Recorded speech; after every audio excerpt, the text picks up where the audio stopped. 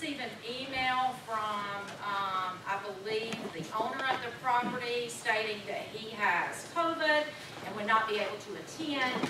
He's asking that we table this, but unfortunately, that is not within his authority to ask us to do. Um, this has been, uh, advertised and therefore we will hear the case tonight.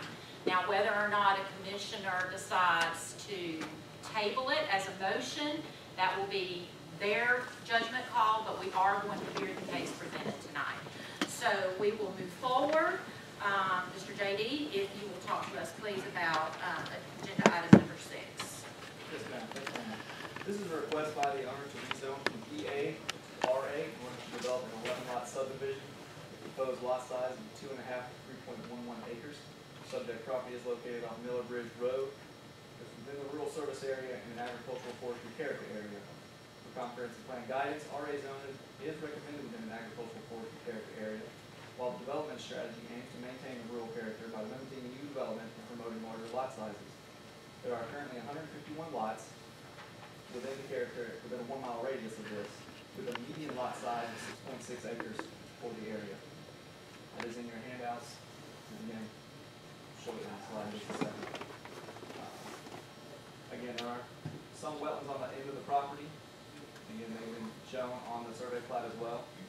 We also have predominantly agricultural zonings, states of land in open agricultural states, some in conservation as well. It is relatively close to the rural character area. As you see here, there is a 0.25 mile difference between the subject property and the rural residential character areas to the north. Um, Again, just consideration for future precedent for any other size property located anywhere within Lowndes County uh, of this type of development. You see here proposed layout of the eleven lots. There's currently one existing house in the bottom left-hand corner. There are stormwater detention ponds shown on the property.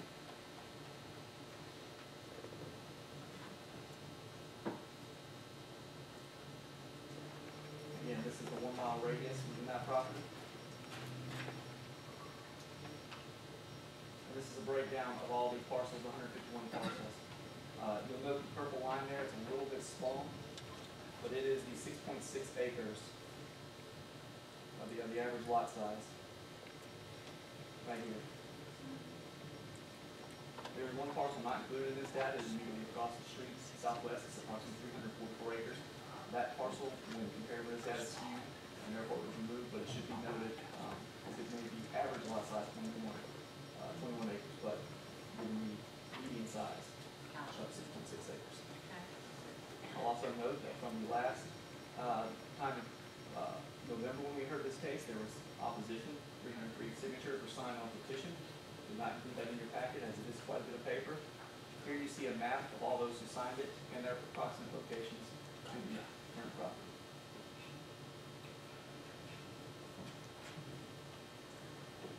TRC did review this request, noting that development standards for lot width may differ based on public or community water versus individual private wells. That lot width can increase fifty feet. Again, uh, soil has not been evaluated yet by the Department of Public Health or EPD, to my knowledge. So those standards will be caught during any plat review if it's moving forward and approved. Um, the TRC did review the request, found it consistent with future land use map, so inconsistent with community goals and policies of their comprehensive plan. All right, Sir JD, can you, um, as much as for the commissioners as for the public, can you kind of explain the difference between the land use character map and the community goals? The character map generally paints a broad picture.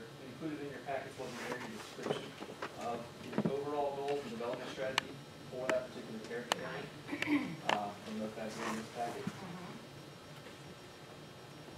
And then there are specific policies and goals which broken down, uh, about twelve for land use planning. And several of them talk about how we should appropriately develop land, best policies, things like that. Most of the policies in the plan right now talk about contiguous growth to adjacent developed properties, logical extension of utility county services, um, is the general gist of it right now. Okay, And they are available online, conference plan. okay. Commissioners, questions? Yeah, I'm just curious about your verbiage as far as an individual well, you say the lots would have to increase by fifty foot of road frontage, is that, that what you're saying? Minimum lot width. Then a lot width? Yes, sir. Minimum lot width. Road frontage is always a minimum of sixty, but lot width, buildable lots, hundred and fifty feet So, versus so, hundred feet per community. so do we know what is depicted on this piece of paper in this this evening? I believe, you talk about the site plan there, Yes, sir. Yeah. I believe the hundred foot width shown right there with the proposed community well. Again, this is just a preliminary. So, so these hundred right here represent two point five acres each?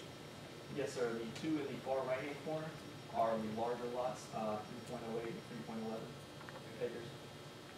So, so, so, so probably would lose one or two lots with the implement- implementation of hundred fifty foot of road frontage, correct? It's quite possible, sir. Do you know what those lots would increase to then? Not off the top of my head, I believe the applicant's engineers here, who may be able to better answer your technical question. Yeah. So it sounds like What?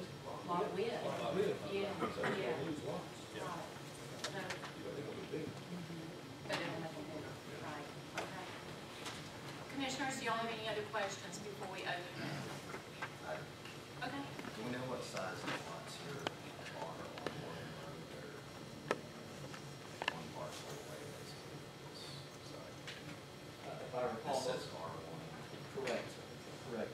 Most of those lots, uh, are four plus acres. Again, most of them are four lots, the R one lot, I believe is four point three, if I recall off the top of my head. Um, so the R one zoning, zone prior to two thousand six, I believe, was. Okay. All right. Commissioners? All right, let's open it up to the public. Is there anyone here tonight who wishes to speak on behalf of this project? Please come forward. You will state your name and address for the record. Good evening, my name is Nick Clark. Nick Clark? You can speak up just a little bit, Nick. Is one zero five Camilla Drive, Quitman. Thirty-one six one three. Thank you. Uh, I'm on, I'm here on behalf of Mr. Powell and Marvin Construction. Uh, this, we On resubmitted behalf of who, this, sir? On behalf of who? Don Powell and Marvin Construction, Don Howard. he's the owner. He couldn't make it tonight.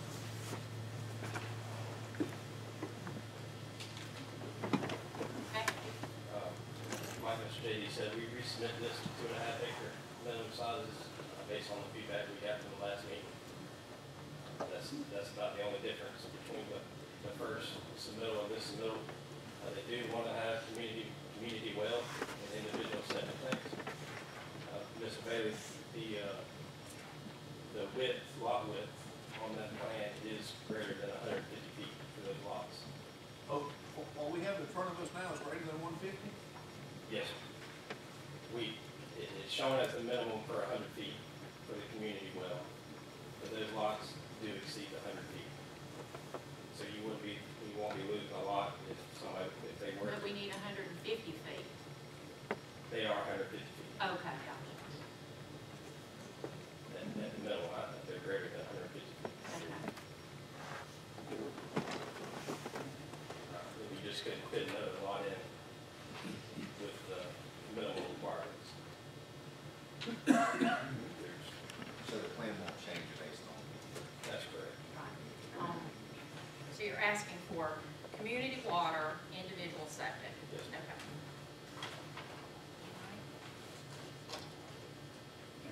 So I'm just curious, can I ask a question? Certainly. I'm just curious, if, if, if the plan is to do a community well, you know, why, why, why don't you just cut them down to min- the minimum size? We, we still couldn't get another lot in with, with the minimum one hundred feet. That's why they want to cut any, any smaller. at two and a half acres. Maybe because of depth of lot, probably? Yes, sir.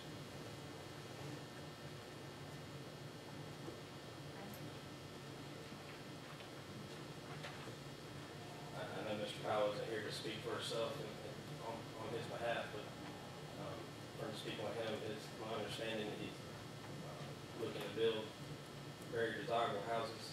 Talk to us about that, about the homes. Minimum square footage, Uh, I think they're minimum two thousand square feet. okay, HOA, Yes, I think he has something drawn up with a lawyer. That had covenants for the neighborhood.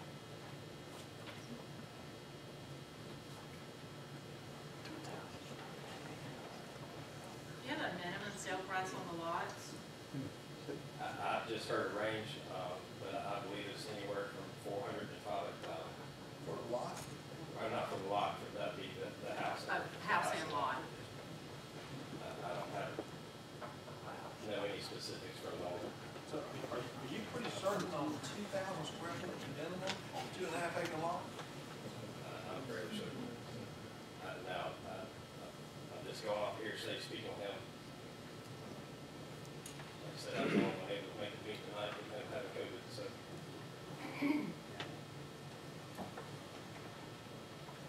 All right.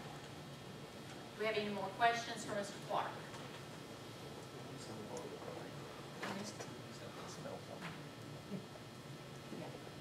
All right, thank you, Mr. Clark. All right, is there anyone else here tonight? Is there anyone else here tonight wishing to speak on behalf of this project?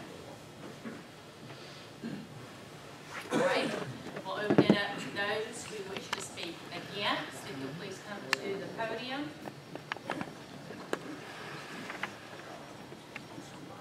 Good evening, Madam Chairwoman, Chairwoman, Commissioners, I appreciate y'all having us and appreciate your service. Um, We're, back here on the same project again, I, I'll try not to repeat myself too Mr. much. Folsom, I'm sorry for the record. I apologize. That's no Brad Folsom, twenty-six eleven North Patterson Street, Valdosta. Thank you. I should know that, Yeah, I'm sorry. you get demerits. Hadn't been here very. Uh, But, but we're back here again on the same, uh, project. The project has changed, obviously, it's a less lot, larger lot. It's still nowhere near what it needs to be.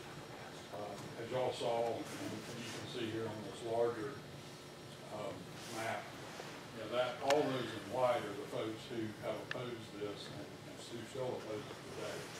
Uh, We had three hundred and three folks sign a petition last time, those still apply to the same thing. The folks sitting behind me who I represent, they want to raise their hands. Those, those are all the people here against this matter tonight. Uh, Basically, from Highway one twenty-two down to Shiloh Road, you know, from the river to one seventy-five, or I seventy-five, everybody's almost unanimously against this. And importantly for our county, this is an agricultural area. It has always maintained that character. Miller Bridge Road is a smaller road. It's not built for any kind of traffic really at all. Um, nothing like Morgan Highway even. Um, you know, you heard JD, I think, mention average lot sizes in the area, you know, taking away the three hundred forty-four acres is about six acres. Um, the only thing anywhere like this, which I think JD mentioned maybe last time or, or also this time, Shiloh Ridge. You know, that's a, that's one that was developed many years ago. The lots in there are three acres, however, there's thirty-four, I think it's thirty-four acres set aside for their common use. So it brings the average size up to well over five acres. And all those, none, all, of those are not sold, There are several available in there as well. You know, importantly, this lies within the agriculture, uh, character area, as JD mentioned, agriculture, forestry, conservation. I just want to, you know, read you a couple things out of that. Um, You know, it, it, you are in that area, you're supposed to encourage preservation of agricultural operations, reducing conflicts between the agricultural and non-agricultural land uses. It enables, uh, there to be agricultural buffers, you know, there's agricultural land really all around this property. Um, and, and really no uses that go against that, that sort of use. Um, You know, the, the general character area maps and, and land use plan in this county encourages development from recent development, so adjacent to City of Hahira, adjacent to other development, so that we don't get one-offs out here in the middle of nowhere like this one. You know, this is an, act- this is simply a, a way to maximize the value of this property for the landowner, which everybody wants to do that. Uh, but it's not appropriate for this county, for this area, and for this piece of land. Um, you know, no development of this type is, is anywhere close, uh, approximately three to four miles before you find any development like this. Um, you know, there are plenty of lots like this. I, I would go back to something the gentleman said a minute ago, and that's exactly right. Mr. Powell said that on the first go around with this, he was planning on building two thousand square foot lot, uh, houses on these lots that have now increased to two and a half acres and trying to sell them for four or five hundred thousand dollars. Uh, I would think that would raise the eyebrows of many on the commission, at how nonsensical that really sounds. If you also remember, he said those were going to have mostly siding houses with brick, you know, a really low-end house in a, in an area that if you're building on a big lot, you ought to be building a larger house. In fact, you could ask yourself the question, why wouldn't somebody go buy a larger house on a smaller lot that's much nicer for less, less money, which could probably be done in Orange County. You know, the other thing that hasn't been mentioned tonight is this is in a groundwater recharge area.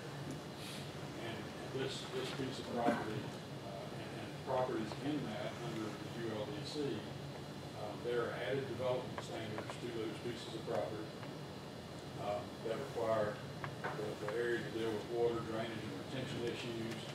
Um, and, and, you know, development in our county dictates that these areas should be the least likely areas for subdivision. Uh, This sits directly on top of, top of the aquifer. Uh, It is where water drains into, back into the aquifer. The more you develop, the more you create runoff, the worse it is for our drinking water here and, and elsewhere. Uh, You know, there are plenty of lots ready for development, said this last time, up and down Val Del, Highway forty-one, in this general area of the county. Uh, There are developments going on north of Hahira, on both sides of Hahira. That's perfect, you know, it it should be there, because the county's growing along with uh, suburban areas. But in these rural areas, we have to protect that, and it's your job first to do that. Uh, And I would uh, suggest to you that the right thing to do tonight is uh, deny this petition or recommend denial to the county commission. Um, You know, agriculture is our number one driver of our economy in this county. And anything we can do to protect it, I think needs to be done. Um, And it needs to be done in a way that, that doesn't hinder development and housing development. And this, this fits very nicely for both of those objectives. So I would ask you to uh, recommend denial to the county commission of this uh, application. Thank you. be glad to answer any questions. Do we have any questions, commissioners? So, um, Brad, as far as you know, because the lot size has increased, the minimum square footage has not increased? As far as you know? We haven't been told, I'm just Okay. going on what the gentleman said, and what I heard last time. Um, so, Thank you. Any more questions? All right, thank you. Thank you. Okay, um, please. My name is Gretchen Quarterman, I live at sixty-five sixty-five Quarterman Road, not anywhere particularly near to this, but I have several items of concern. Last month I was here and I talked about the recharge of the aquifer. I appreciate that Mr. Folsom has done that for me. Um, my big concern for tonight is a community well. Don't forget that when uh, a developer digs a community well, the county commission is on the hook for the trust indenture. That means the citizens of this community promise that something goes bad with that well, and the developer abandons it, that the citizens are on the hook for the fixing of that well. And the citizens of this community have done that in Lake Lackawanna and at Spring Hill. And it is not in the best interest of the citizens of this community to ever have another community well. Thank you. Thank you, Ms. Gretchen. All right, is there anyone else who'd like to speak tonight? Okay? Good evening. Uh, Chase Gregory, seventy-four, seventy-eight Webb Road. That's parallel and right behind the, the second property. Uh, Been there twenty years, we were the youngsters when we got there, we're not that young anymore, we get older. The zoning is really working well. The zoning that's in place, um, it's providing balanced growth in the area. It's, it's protecting, I think, the character of the area. I think what's been, been done and in place now is, is doing well. And, and even when it comes to, uh, areas where you, where you have challenges and things like that, and things aren't perfect in paradise, but, but out in our area, everything from four acres to eighty-eight acres that's come up for sale, it's sold. Right next to us, a young fellow from Kentucky, he bought eighty acres, he put his parents and his nine-year-old granddad on it. Great guy, I like people. Right across the road, seven acres, a fellow from Detroit, Michigan of all places, bought that, moved there, he's got his mom there, right down the road, and then a retired general from Colorado. So, we like growth, we like for people to move in, I like neighbors and that sort of thing, we're not having trouble with the large acres selling them in that area. And then, not only is the zoning doing good on that, but like I said, things are always perfect in paradise, and, and just like Mr. Warren earlier, there's a need that somebody has, then zoning does a good job, because you've got tools, you've got precision instruments to help fix things that aren't perfect, and help individual citizens clear hurdles. And that's important, because everybody's gonna have hurdles. Um, I got four kids, hopefully they'll all leave, but if they don't, I'm gonna need your help. Um, in fact, I know I need your help.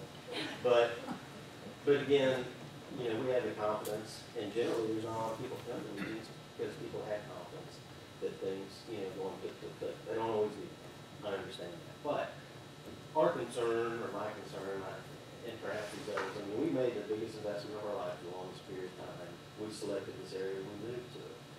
What we don't want to see is taking precision instruments and tools to fix small hurdles for individuals on an individual basis, used to rework the zoning in an area and change that character.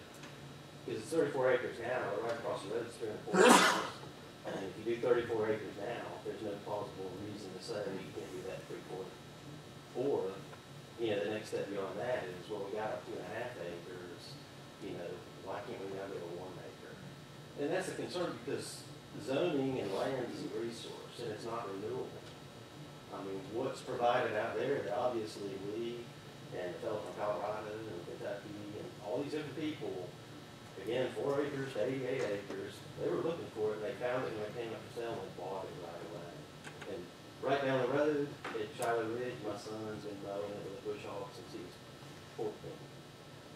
Maybe he wasn't supposed to do that. But it's been there twenty years, they're starting their third house. I didn't go on two houses. I'm not against development. I don't think it's a bad plan, I just don't think it's the right place. And I don't think what it's gonna set going forward, what's gonna happen is that resource, that non-renewable resource that people are looking for, where are they gonna go? Are they gonna go to Brooks County, or Cook County? Because that's about as far as you can go out in Lowndes County and still be in Lowndes County. And so, my request would be to deny this, not because it's bad plan, or I don't like people, I love people. And I look forward to somebody moving out here and raising their kids like we do, or doing whatever they want to do. Um, or bringing other family members on, you know, like, times change, sometimes you have to do that for a period of time. But, that's what I have to offer for your consideration, would be to deny it, not because I'm angry or anything like that at all, but because I know people who look and place to kind of do what we're doing. Um, We just gotta make sure there's places like that for them. Thank you. Thank you, Mr. Oh, Gregory. well, you have any questions? I don't know that I can answer anything, but. Do we have any questions? All right, um, I think we're gonna allow, thank you, Mr. Gregory. I think we're gonna allow one more, we've gone way over, but let's allow one more speaker.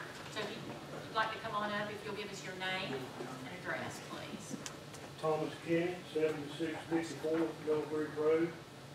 I own the property, would be the top left-hand side of this, adjoining this land. And, um, if you'll pull that back up with the retention ponds on, That, that's your land, sir? yeah, yeah. Okay, everybody's looking at a flat map. All this land drains, from the- it'll be from the bottom to the top of this map. And it's on the side of the hill. And it all drains from my property. These retention ponds, I can tell you, they, they're gonna be full of water year round. And when it does rain, they're coming over and it's coming on my property. I've got two irrigation ponds.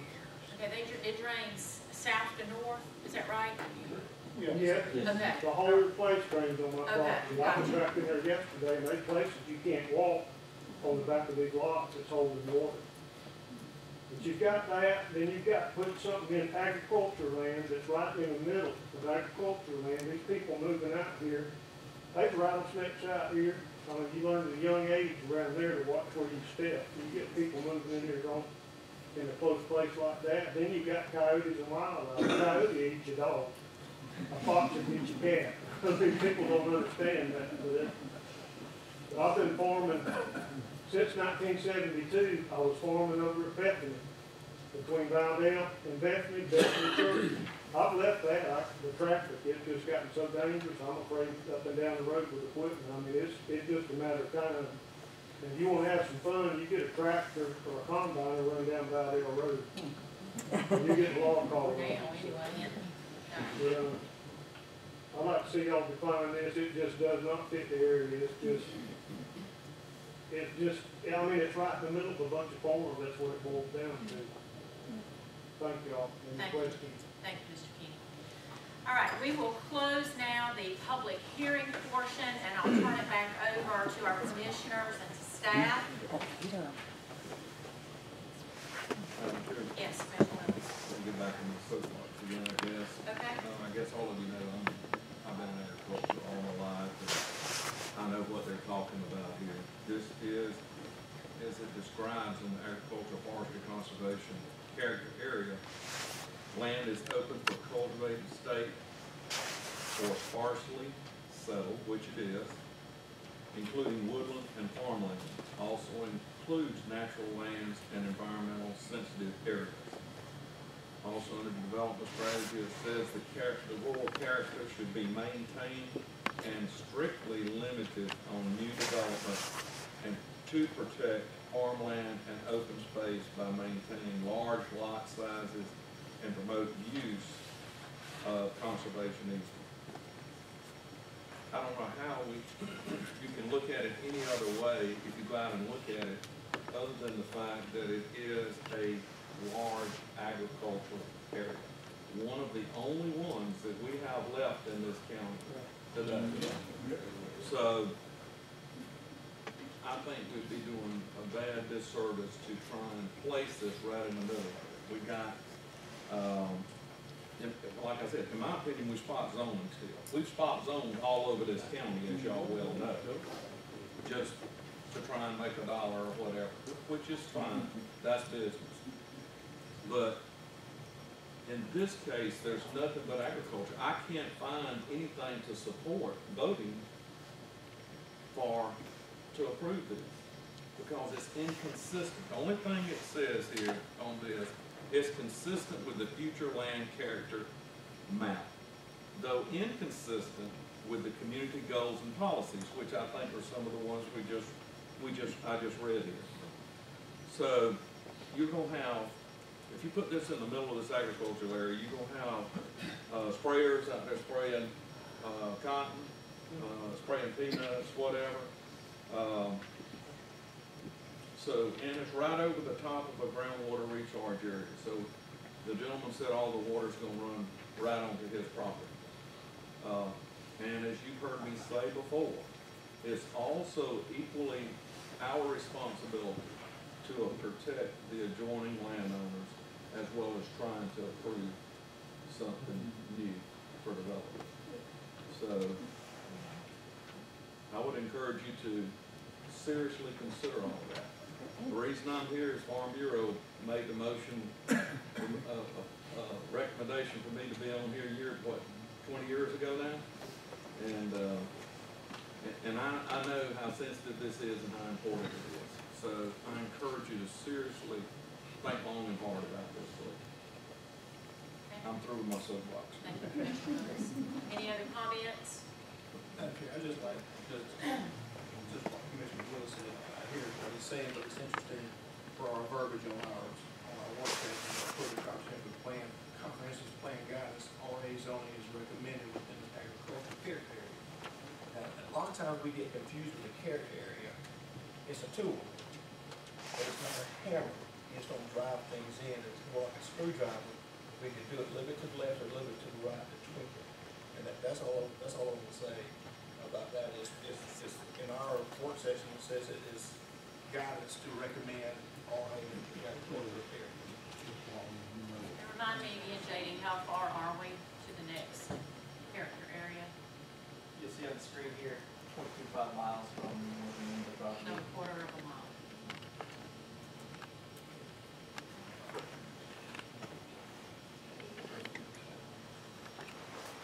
Any other comments? All right, I'll remind the commissioners that there was a request to table it, so that is an option when making your, um, when making your recommendations tonight to approve or deny, or approve with conditions, or even to table. Um, so, just remind you about that. Any other discussion? All right, let's call for the vote. Madam Chairman, Sorry, I'm sorry. Why don't we call for a motion that's first? what, Thank you. that's what I, that's what I was gonna. Well, I was asking for a vote, but we didn't have a motion. Um, okay, Commissioner Willis, your motion? I make a motion that we recommend denial based on the fact it's out of character for the area. In my opinion, is spot zoning, and it's a pre- predominantly agricultural area. Okay, we have a motion to deny, and that is seconded by Commissioner Wiles. Any discussion on that motion? All right, on the motion to deny, all those in favor, raise your right hand. All those in favor to approve? Yeah, disapprove. And that motion is carried and it has been denied. So, we are moving on. Uh, and I don't